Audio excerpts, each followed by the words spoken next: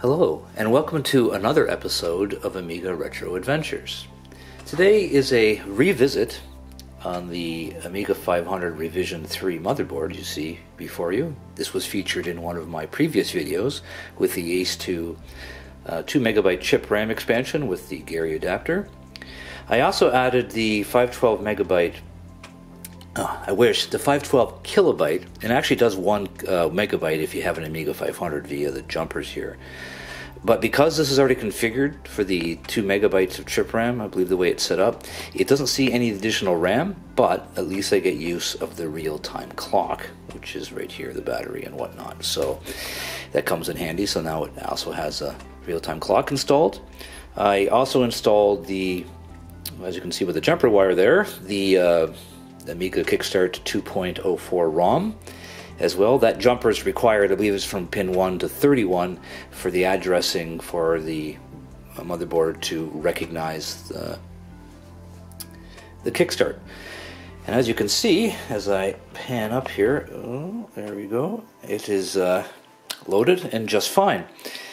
What the purpose of this video is, is um, basically, if I can put back down here again, there we go. Ideally, the, this has what's the, the ECS chipset as in the 2 megabyte Agnus. And it should also have the ECS Denise. Now, currently I have the OCS Denise. And what I mentioned previously, if I put the ECS Denise in here, I don't get any video output at all. Um, everything seems to be working, the disk drive will boot, all of that fun stuff will happen, but there is no display. So we're going to investigate that because I happen to have the chip right here the 8373, I believe. Yes, it is. A revision 4. And uh, I'm going to install that in that socket, and uh, I will show you that when we boot up, you'll hear the drive clicking like you do now, but you will not see any video whatsoever. So I'm going to swap out that chip, and I will be right back. And I have returned. So I've installed the ECS chipset Denise, so the ECS version 8373, and you can hear the drive clicking, and there's absolutely no video whatsoever. Now, what's interesting is if I hover near one of the pins without that's definitely touching it, you'll see. There we here. There we go.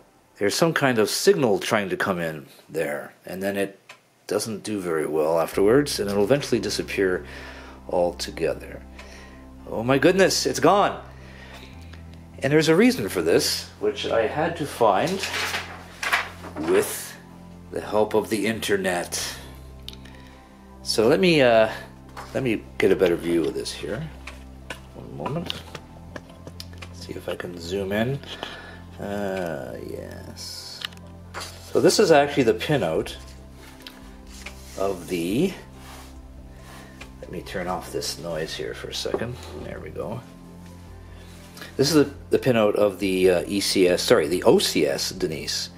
And if you look on this table here pin 34 says not connected.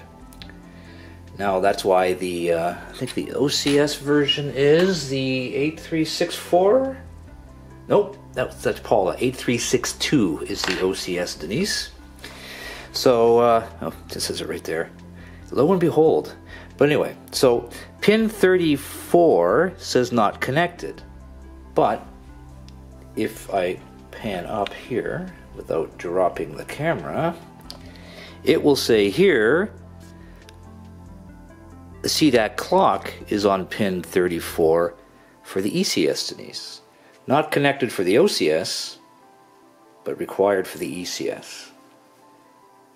So that would explain why there's no video, because there's probably, now I haven't used my multimeter, but there's probably absolutely no connection between the uh, CDAC signal to the uh, ECS Denise. So let's uh, do a quick experiment. I'm going to run a wire quickly between, I believe it will be pin 34 like I mentioned before, of the Denise. And I looked on the uh, the schematic, the the underscore CDAC signal um, goes to pin, I believe, one second, 26 of the Gary chip, which, if I move this out of here, eh, move this over, zoom into the action, get this out of the way. Actually, doesn't need to be out of the way, it's just there, that's better. Okay, so, oh, that's in the way though. Ah, you gotta love wires, they're everywhere. Just uh, mess. There we go. So, these are 48 pin dips, so dual inline package, and it counts from this side. So pin 24 is there. So 25, 26 would be that one.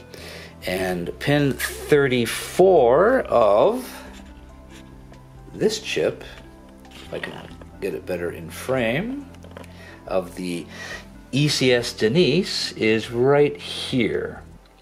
So I'm going to run a jumper between here and the pin on pin 26 on Gary, and we'll see what happens. So I'm going to put this back in frame. Uh, zoom out maybe. Yes, that works. My very glossy monitor. See if I can move that back a bit. Okay, not perfect, but good enough. So I will turn this on. I will try to do this. I'm going to be very careful as well with the. I'm just going to use uh, this cable here to jumper between pin 34 of the Denise, pin 26 of the Gary chip. You can hear by the clicking, it has booted up. So let's see what happens. I will do this very carefully. Give me One moment, please. I gotta hurry up before my monitor shuts off due to lack of signal. Oh, what was that? That's the pin there, you can tell, because it's just sensing the ground. This is a clock signal that's required from the Agnus chip, which is the, the CDAC signal. So the fact that um, I'm, it's detecting a slight ground, even though I'm not actually touching the pin, it's just enough of a signal. So I'm going to go to the pin 26 of the Gary. Look at that. Beautiful. So that's how you can get the ECS Denise to work on the, um, what you call it? Yeah, I just took the cable off, don't worry about it. To work on the Revision 3 motherboard if you upgrade to a full EG, uh, sorry, ECS chipset.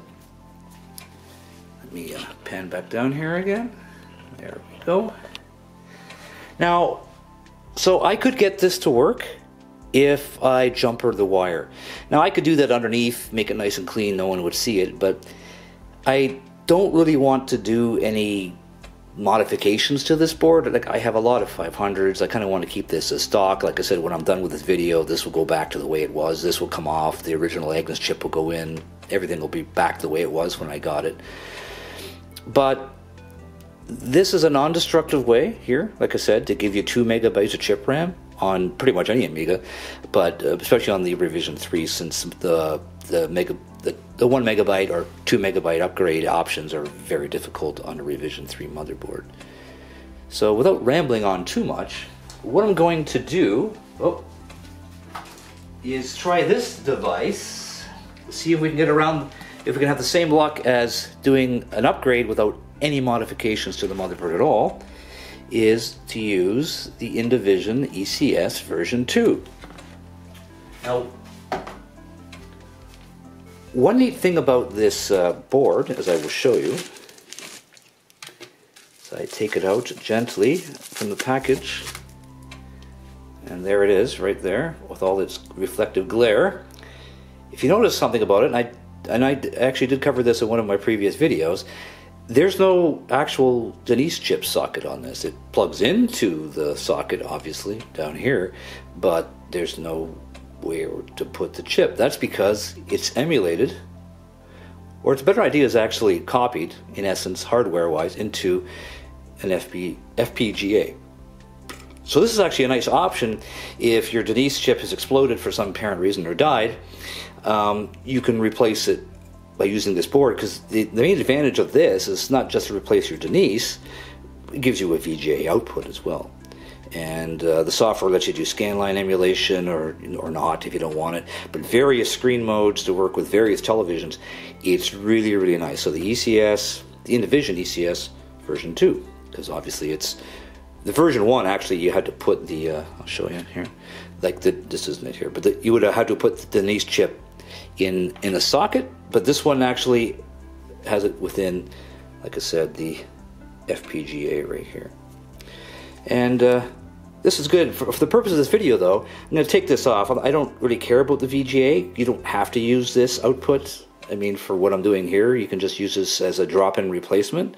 But I haven't tried this. We will find this out together. If this will work inside, in it, sorry, as a replacement in here without any modifications at all of for the Denise chip, the ECS Denise. So I'm going to plug that in there and I will be right back. Hello, and as you can see I have installed the ECS version 2 from Indivision. Now I have a feeling this may not work because that is a clock signal that's missing on the socket. Maybe. I'm not sure. Like to have it opened up. Either the chip itself doesn't detect it or it's not wired at all from the uh, from the Agnus. So we shall see.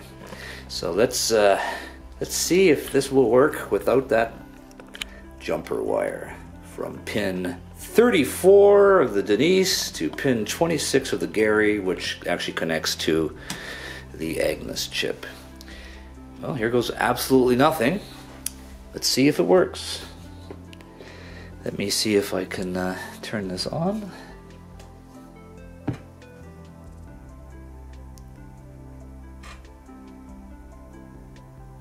And the answer is no. Oh, I lied. The answer is yes. Yes. See, I was not patient enough. And there you go.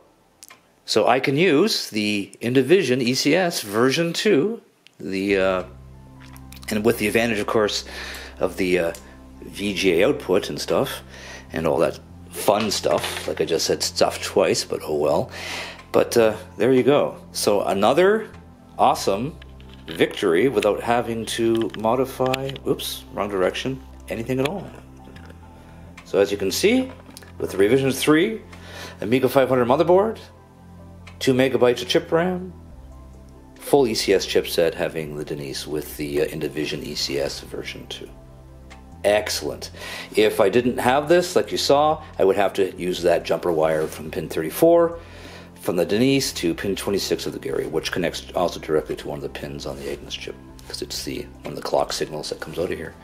So uh, it must be generated internally somehow by that beast, and there you go. So now you you know you can modify a very old motherboard, the very poorly, almost impossible to find documented Amiga 500 Revision 3 motherboard, and it's expanded to pretty much the best it can be of any 500 without any soldering or any hardware trace hacking at all. Beautiful. And that's it. I don't have uh, much else to say about this, except for I'm glad everything worked out really well.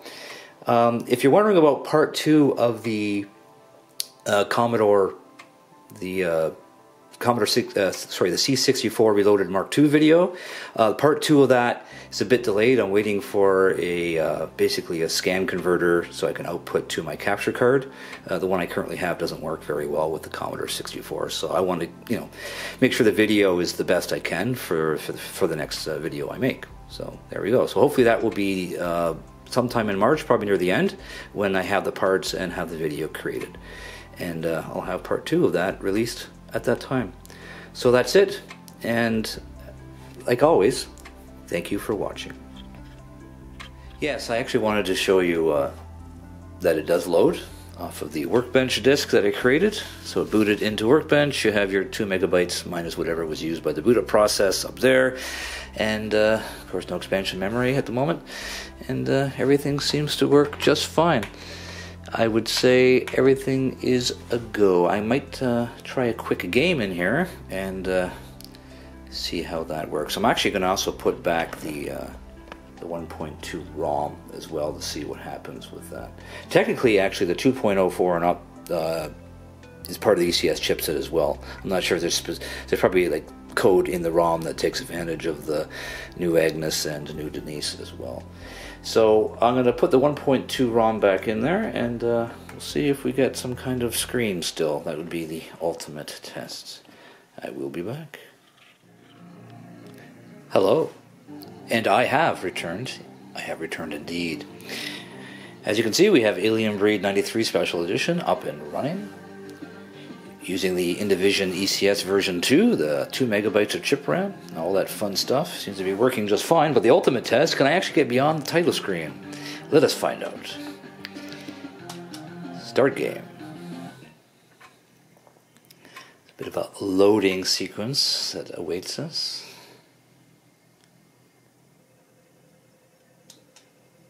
I will quickly get past that.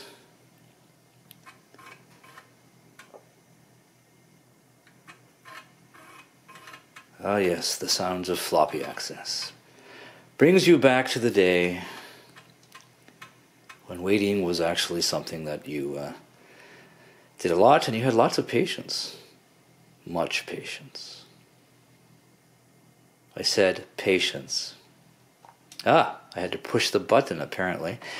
Yes, this game I have played many times and I have died even more times than I have played it, if that makes any sense. Oh. So as you can see, everything works just great. Um, and that's pretty much it for this video. I would uh, like to thank everybody for watching. If you want to subscribe to the channel or if you want to like this video, you know what to do. And like I said, uh, hopefully I will soon have the, uh, what we call it, the C64 uh, Reloaded Mark II, Part 2 video by the end of March, once I get all the parts I need to make a pretty good video. And that's it for the moment. And as always, thanks for watching.